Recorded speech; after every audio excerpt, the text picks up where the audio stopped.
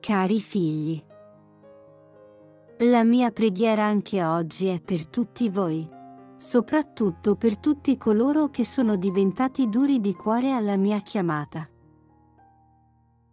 Vivete in giorni di grazia e non siete coscienti dei doni che Dio vi dà attraverso la mia presenza. Figlioli, decidetevi anche oggi per la santità e prendete l'esempio dei santi di questi tempi e vedrete che la santità è realtà per tutti voi. Figlioli, gioite nell'amore perché agli occhi di Dio siete irripetibili e insostituibili perché siete la gioia di Dio in questo mondo